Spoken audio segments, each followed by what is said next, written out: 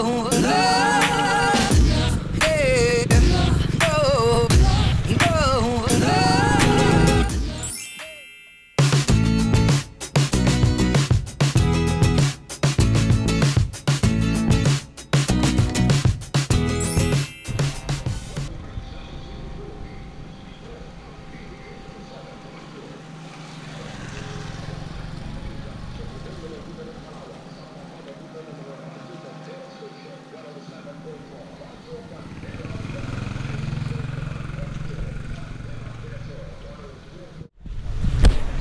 Good morning, lovely people. I'm going back to the agency where we got our tour just to get a shot of the company, just the signage, so I can actually suggest to you where you can go and book your tour.